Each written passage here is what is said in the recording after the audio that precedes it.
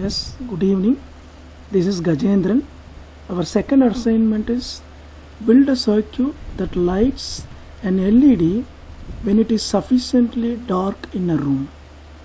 Demonstrate the circuit by covering the photoresistance to simulate darkness. Now we will see the circuit setup.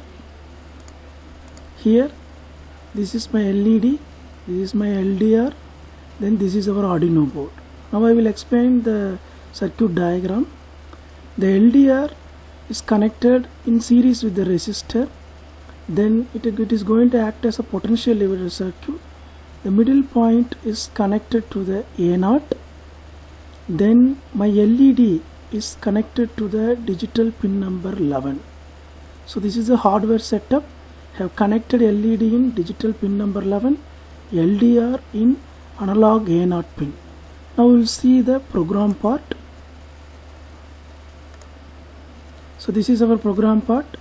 I configure digital pin number 11 as output and I am going to read the LDR status in analog read using analog read command from pin number A0 and I am going to check the brightness of the LDR.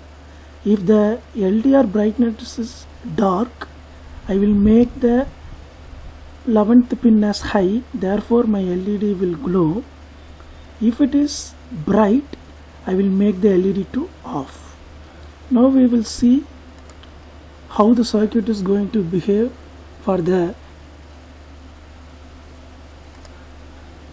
yes now I am going to vary the brightness of the LDR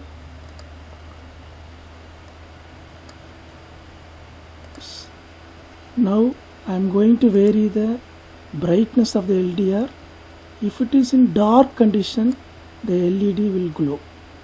If I change the LDR brightness now it is bright.